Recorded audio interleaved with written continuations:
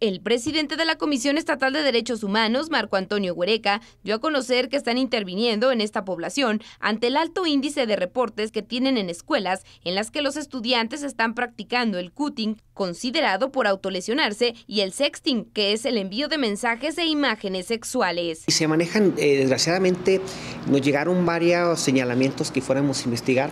Yo mandé a la directora de capacitación y invitamos a la psicóloga en varias instituciones educativas y detectamos ese problema de curting y de cuestiones de problemas que, es increíble que se den en, medio rural, sobre todo porque por esas cuestiones, pero estamos viendo eso. Y desgraciadamente esto fue hace como un mes y medio. ¿Es el sexting famoso que, que se graban con los celulares? Exactamente, es exactamente, se están grabando.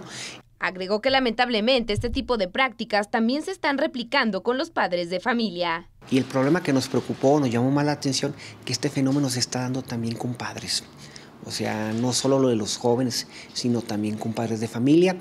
Mandamos ahí, es algo que yo todavía me niego hasta creer, a veces dice uno duda de esas cuestiones, pero mandamos a hacer investigaciones, a checar esos datos.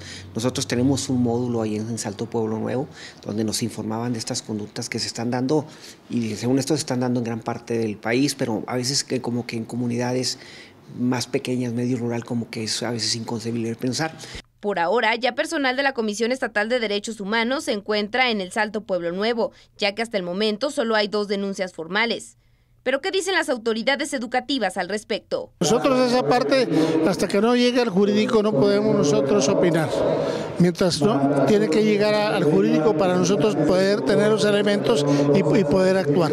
Pero no les han reportado en las escuelas los directores, ¿no? Los, directores ellos ellos como de acuerdo a su autonomía hacen lo propio y ahí toman sus propias decisiones. En, un momento dado pueden llegar a suspender a los jóvenes mientras que se investiga eh, esta esta parte. ¿A ustedes no les ha llegado los reportes a la Secretaría de hasta hasta la fecha habrá llegado uno o dos, pero no el grueso.